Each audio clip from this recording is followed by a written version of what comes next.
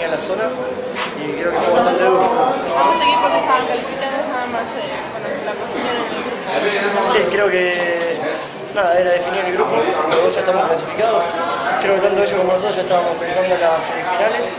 Y bueno, nada, sería un partido de hockey lindo para ver y solamente eso. ¿Qué sigue para ustedes? Eh, nada, eh, ya creo que el rival que nos toca ahora es Chile, así que preparar el partido con Chile y nada, ver que salga todo de la mejor manera posible para nosotros. ¿Chile un rival complicado? Sí, la verdad que sí, es un rival muy complicado, juega bien, juega fuerte y nada, es una instancia decisiva, así que va a ser complicado.